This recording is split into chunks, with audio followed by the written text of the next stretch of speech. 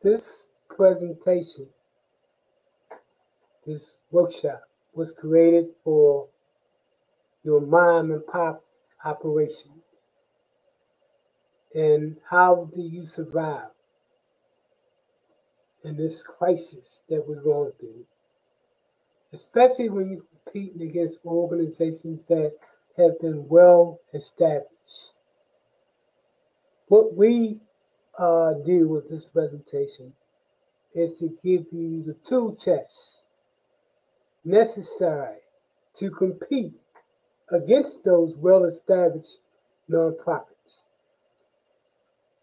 Um, what did Nipsey say? They don't know what I know. Because when they think you're coming at them, they don't know that you know what you're going to learn today. You're to rethink the whole narrative on your approach to providing the services necessary for the clients that you service. So this whole presentation, this whole workshop that we get is for those mom and pop operations that has a burning desire, desire to make a change, but you're being black because you're not part of the elite, the well established. Well, here's the knowledge base necessary to compete, get the money, and service your clients. So let's get started. Nonprofit and community uh, development. So you meant this particular individual right here a while back when we was talking about the possibility of doing the CEO training. So just before I talk about what does it include, share with the public who you are and what type of nonprofit you are and what you do. Oh, okay. Um, my name is Toastin Julius, and I'm with the Midtown Outreach Inc. I'm sorry, it's a little loud where I was. Got to come outside. Um, we're a pharmacy in the Tampa Bay area, and we are here to service the patients that are not able to afford their AIDS drugs. So the reason why we want to, you know, get the nonprofit is to be able to help the community for the people who cannot afford to pay for their meds. All right, that's good enough. So let's talk about what does the training consist of. Well, first is board training. Second, we're going to do what's known as a SWOT analyst on your organization. We're going to look at your strengths, your weaknesses, your opportunities, and your threats. Then we're going to talk about doing a strategic and operational plan, then a business plan. Now, what people fail to realize is that there is a difference between a strategic plan and a business plan. A strategic plan looks at the internal operation of the organization in terms of, of do we have everything we need to reach our mission and our vision. A business plan looks at the money. How do we bring in money? So we're going to talk about a business plan. The other thing the training Okay. The training is going to assist of is program development as well as, as well as program design.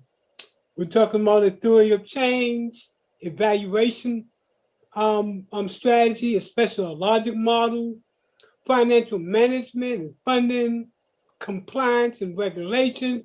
What we find is that a lot of nonprofits that doing that's doing good, but they're not in compliance, or they're not doing the legal requirements related to the regulation.